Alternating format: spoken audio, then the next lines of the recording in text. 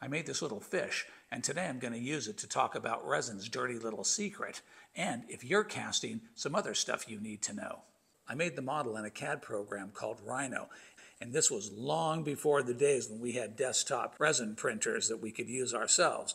So I sent the CAD model off to a service bureau in China because it was inexpensive. The top image is a rendering. On the bottom is the actual parts I got back from China. I always paint my sculptures, usually with artist's acrylic, but in this case I didn't do it. Each one of the parts, all 10 pieces, was cast in a different color. And I want you to notice particularly the eye color. When I cast this piece, that eye was pure white.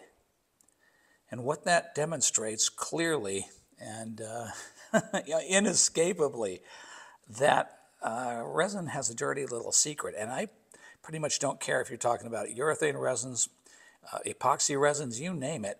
Resins over time will yellow. This piece I cast about 10 years ago and it's been hanging on a wall in my house. No direct sunlight hitting it, but in that time, the resin's yellowed that much. And that is why I always paint my pieces with artist acrylic. So this is what the piece looks like now, but this is a lot closer to what it looked like when I first cast it. The colors were much brighter and much cleaner and had a lot less yellow. So it went from this to that, from this to that. But I want you to notice something else that's happening. It's not just the resin that's turning yellow. The dyes are also fugitive, and that means that they're fading. And the bad part is different dye colors fade at different rates. Some hardly fade at all, some fade a lot. So the solution is that I don't rely on resin, pigments, and dyes for my projects. I always paint them with artist acrylics. And here is why. I painted these prototypes 25 years ago, and they look exactly the same as they did when they were first painted. The colors are just as rich and just as strong, and there's no evidence of fading. And let me show you something else. Here are the resin masters. As you can see, they are a distinct yellow color.